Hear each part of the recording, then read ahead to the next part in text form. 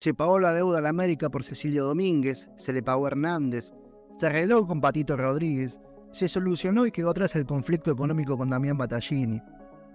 Parece que la colecta de Santiago Maratial, la que oficialmente se llegó a juntar un cuarto de la cantidad total estimada, 5 millones de dólares sobre 20 calculados, cambió el aire en un club que pasó a estar al borde de la quiebra a la reconstrucción. Nada cambia tan rápido, y menos en un club como Independiente, donde no habían dejado verdaderamente nada.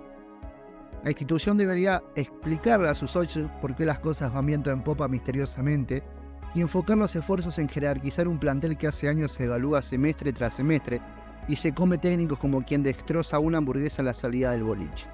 Por eso, en tiempo extra nos preguntamos, ¿qué pasa en Independiente?